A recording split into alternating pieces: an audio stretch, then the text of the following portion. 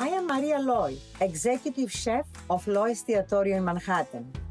When I was growing up in Thermo, a small village in Greece, food was a way of life. Good for your body, good for your soul.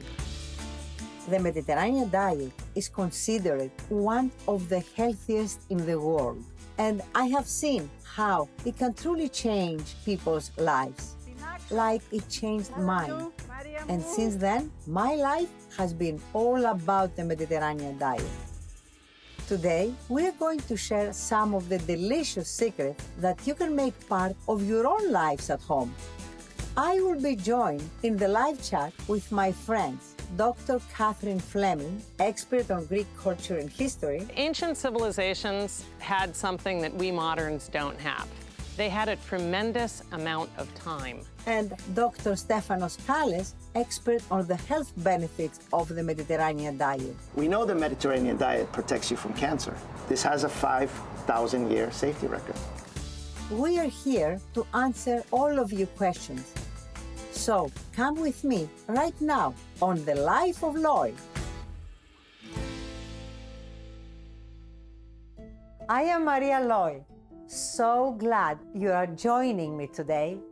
I will take you on a trip to Greece and then come back to my favorite kitchen in New York to show you two of my favorite recipes mini omelette muffins and Greek tuna salad. Today, I am going to take you to two places in Greece. They are very, very, very close to my heart. First, we are going to Evia. Evia is the second largest Greek island after Crete. You can drive there from the mainland. When I was a kid, I used to go to Evia with my father. I didn't understand how you could drive to an island and you didn't need to take a boat. Even today, whenever I pass that bridge, I always think of those trips with my father. Recently, I went to a farm in Evia that is growing the best mushrooms. Mushrooms give many dishes a savory, rich flavor known as umami, which makes them great to use in vegetarian dishes. Πάμε!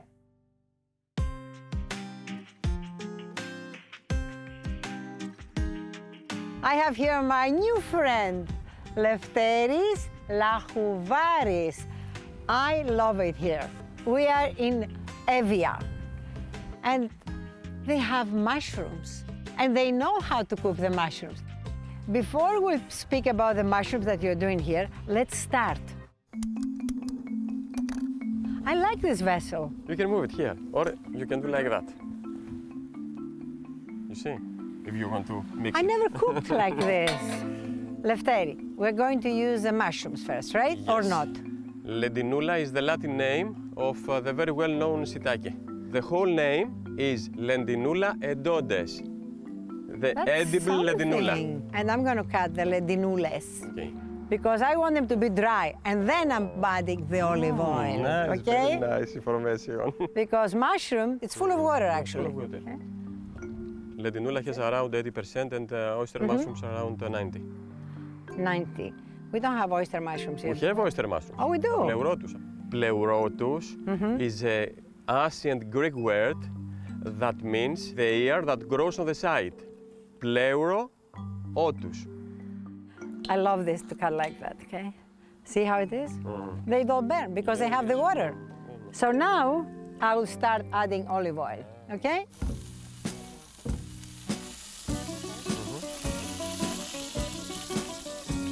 Take that. Okay. Here I'm ready. Do you want to add? Everything, everything. Very nice. I want a ton of mushrooms, Okay. okay? Will be very delicious. Oh, yes. Can you imagine when we will put also the Vasilomanitara? They are the best mushrooms of the forest. Why you have to call them The porcini? biggest, yes. Come on. So we have anything else of this kind of mushrooms? We are done of with course, that? of course, of course. What? We have arnakia. Arnakia? Do you know why? Because it looks like arnakia. Yeah. It grows on the tree. Mhm. and becomes so big, like uh, Yeah. sometimes one meter like the big. ship, yeah, yeah. Yes, and it's like a ship that holds a big hug on the tree. In That's so US, they call it lion's mane because of this. Oh, yeah, it is. It's lion's mane. So how do you cut that? Look inside. It's a fleshy mushroom. You see? Oh, It's very fleshy. I never had this.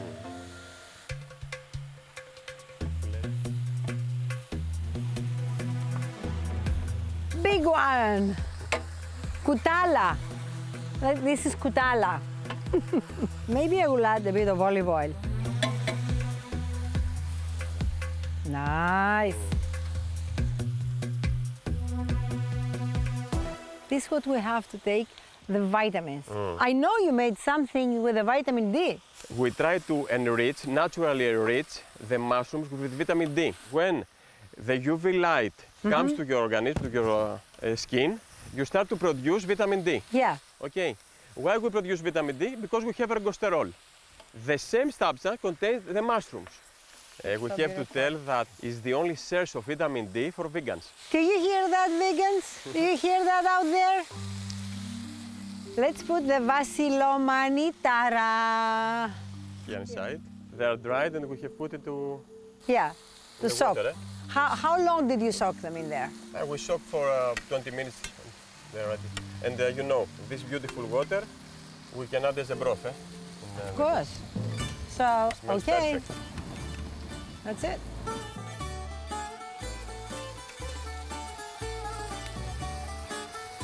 I can add, if you want some onion, just a bit of onion, that's all. Okay.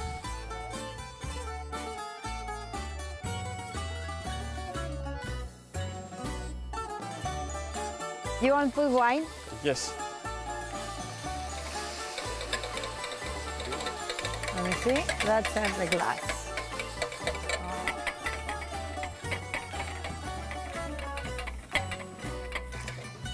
You know why I don't add the water immediately? Because you see, it will be crispy after Ah, that yes, and yes, not yes, yes. mushy. Okay. Okay? Now we can add the broth.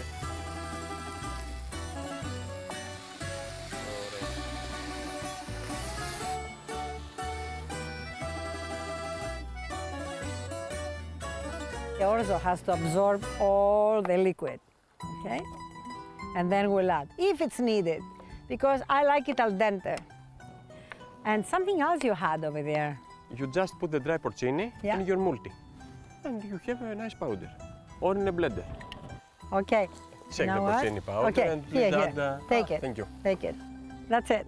We spread Maybe. it everywhere. Yeah. Do you want uh, the salt Yes, and the pepper? yes, yes.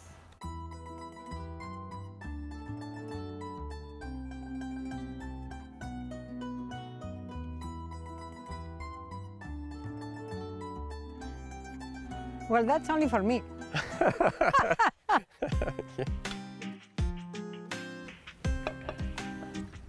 Is it good? Super delicious. Thank you very much. I thank you. So, from the Garden of Eden, here we cooked mushrooms with orzo, Greek orzo, and um, I don't know how many different kind of mushrooms.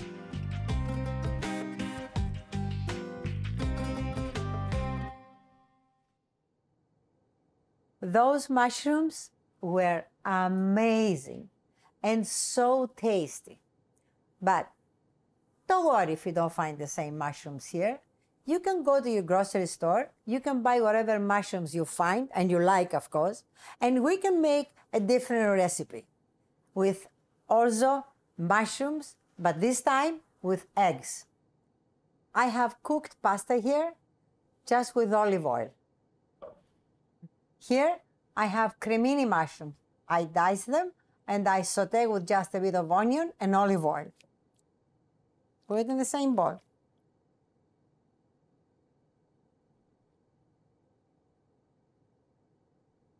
You can eat them actually like this. You just add some feta and you have an excellent dish. Feta cheese. You know, my friends, they say that I cannot live without feta, yogurt, and olive oil. And it's the truth. It's my trifecta. I like to add a lot of yogurt here. And this yogurt I make here, personally. Make sure that you mix it very well. And the orzo will be covered by the yogurt. And you know, the yogurt also makes it fluffy a bit. You can add some salt.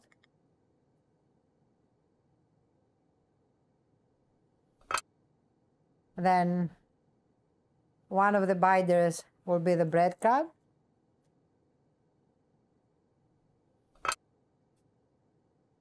We'll add some fresh ground pepper.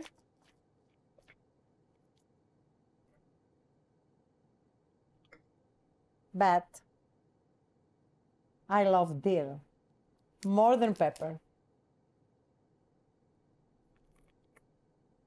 That's how my grandmother used to cut the dill.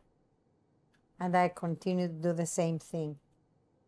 Look, with a scissor.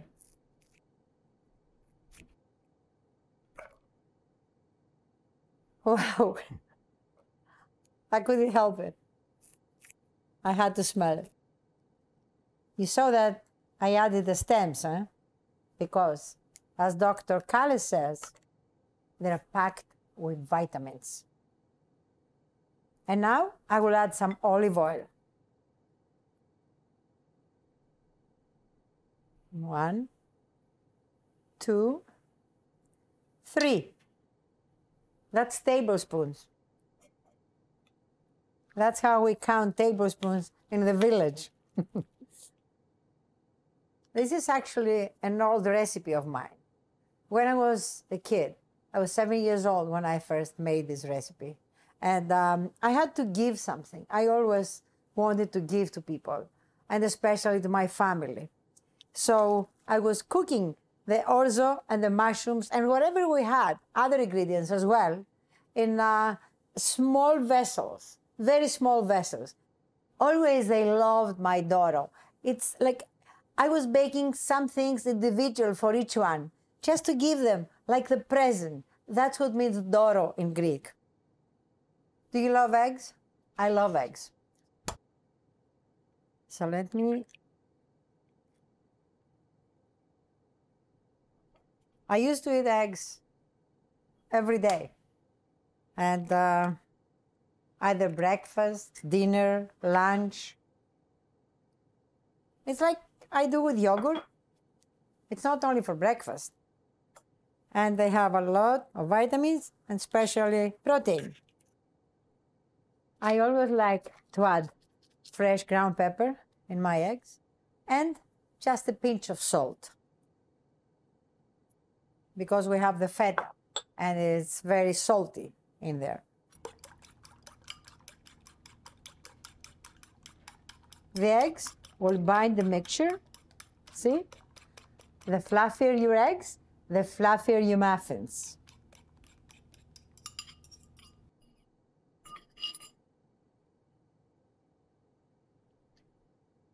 Make sure that you mix the eggs very well with the mushrooms, the orzo, the feta, the yogurt, the olive oil, and the dill.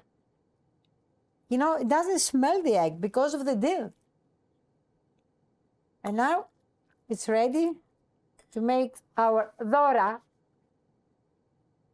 the little presents, and to take it into the oven. So, my grandma, she, she never uses a brush. So she was always taking a small piece of paper napkin. She was going like this. And here. That's it.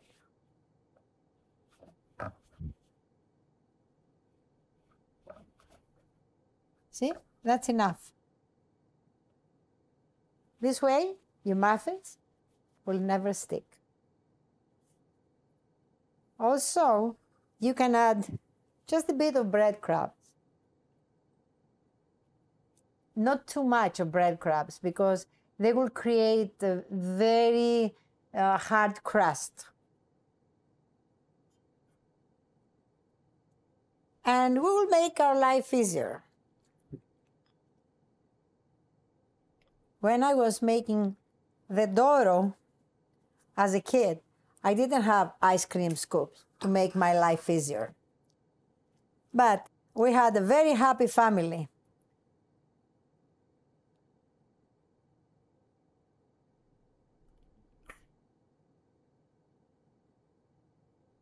Okay.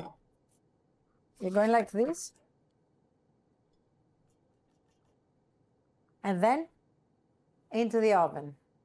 Preheated oven, 350 Fahrenheit for maximum 15 20 minutes. Depends of your oven, of course.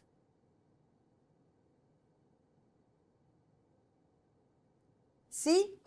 I have them ready for you. You see, when, when they get like a bit crusty and a bit brownish, then you know that they're ready to come out from the oven.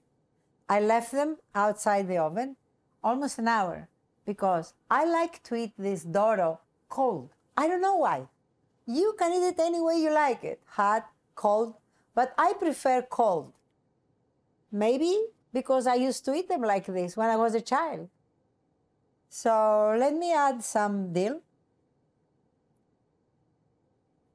because I want to make them beautiful. They are super tasty.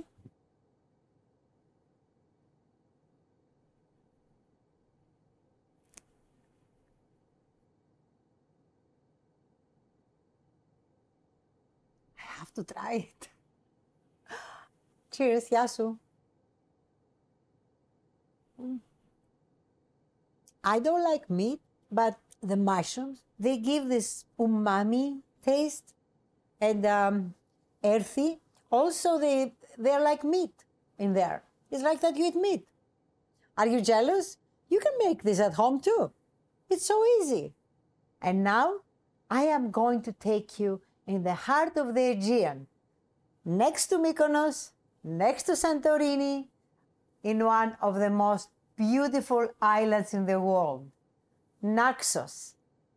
And they have the freshest seafood. Πάμε!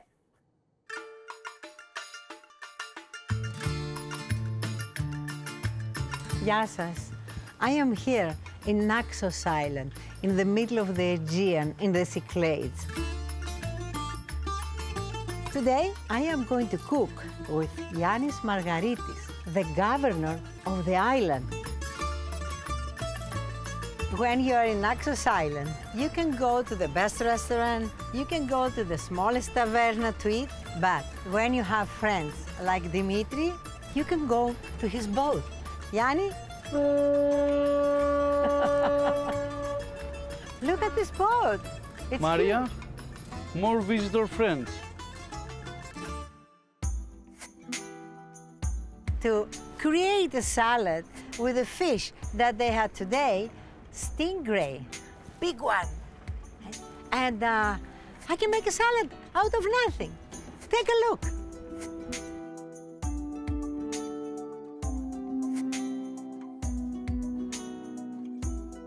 So we had the fish. You see how it is with the skin? So first of all, we have to clean this. We have enough. Yeah. Then it will be like that. Mm-hmm. But before that, we just boil it. I made here ladhi and lemoni. Ladolemono. Olive oil and lemon. We have onions, scallions, and we'll mix it again.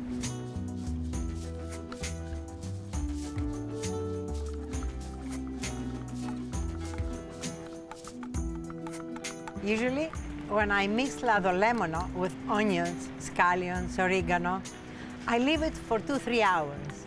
But it's okay. We have to eat. We're hungry. That's the secret. That's a secret. You put all together Yeah? and then up from the fish. No? Wait. Let's see. I take my big hands, okay, and I here. Wow. For this you don't need the professionals. And if you see now, you have the sauce here, you add more fish. See? The secret is not to be dry but not to be very mushy. Fresh pepper. Always. See the fresh pepper?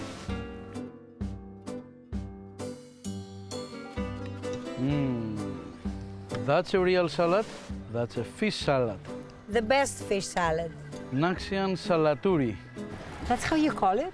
But I make this salad, so that means that. Uh, So it's Maria have- salaturi. and what else? Extra virgin olive oil. Always finish, even with a drop of olive oil. It will make your life tasty and healthy. Okay, Yanni. Let's start. Smells nice. Looks nice.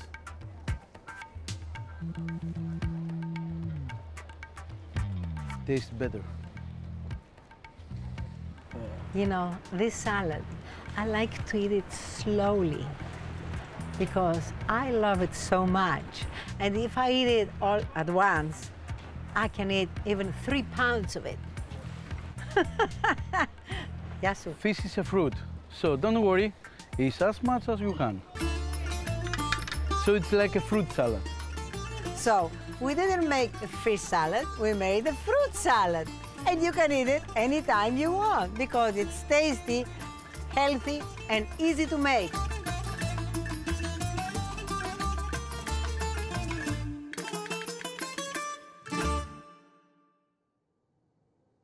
Don't forget, right, right. We're here for you to answer to anything you want to ask about food, history, health, we are the experts. I have to answer to a friend of mine now that he says, if you don't have this fresh fish that you had in Naxos, what are you going to do? I said, easy. I'll make you a tuna salad. With the same ingredients? I said, yes. Olive oil. If you cut my veins, will bleed olive oil. So lemon juice. I will put two tablespoons of lemon juice. Mustard. I like mustard. And sometimes I mix it with yogurt. And it's a perfect cream for you to use it in several dressings, sauces. I use the Dijon mustard, but whatever you like, according to your taste. Salt. I like salt in this recipe. It needs it. If you have the fresh fish, you don't need so much because it comes directly from the sea. But here, you need it. Scallions.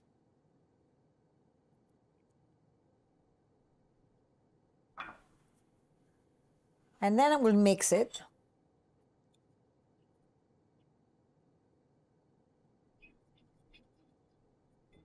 And this could be a dressing for any salad. Okay? And now we're going to add our tuna fish. Uh, you see, it's chunky. It's not like those tiny pieces. Please buy a good tuna fish. And always buy the tuna fish in water, not in olive oil. And then strain it, and it's ready to go into your salad.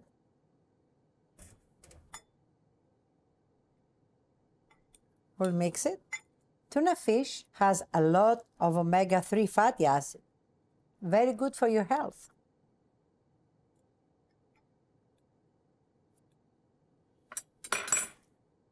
It's an easy recipe, isn't it? Let's serve it. Two ways. One,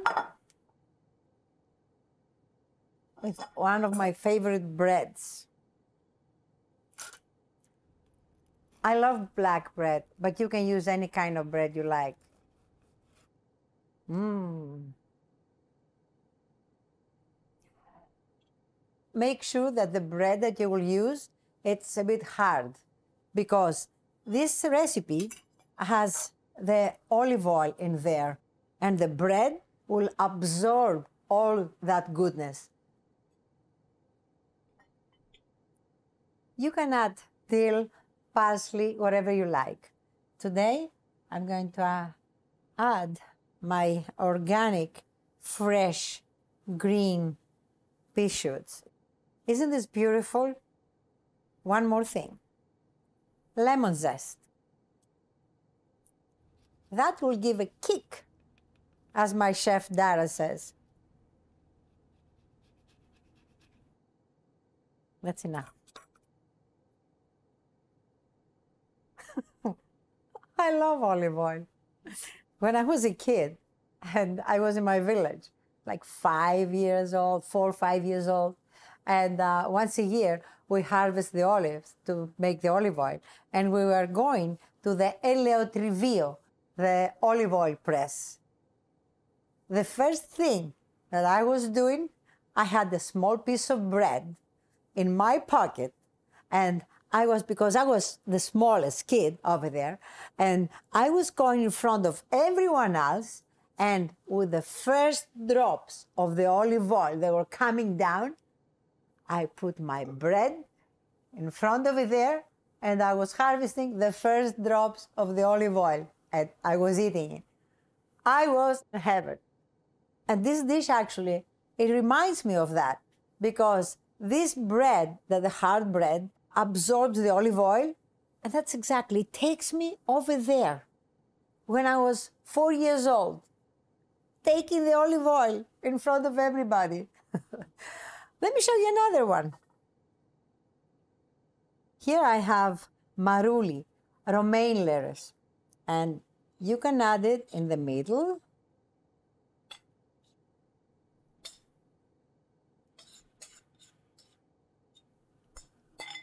And it's beautiful also, right? Lemon zest. This dish, it's perfect for the people that they are gluten free. And also, you can use the lettuce, the maruli, as pita chips. But let me try my open sandwich. I like this. And I love the bread. Let me try it. See, the bread sucked all the olive oil. That's why I love this bread. And the tuna. Yasu.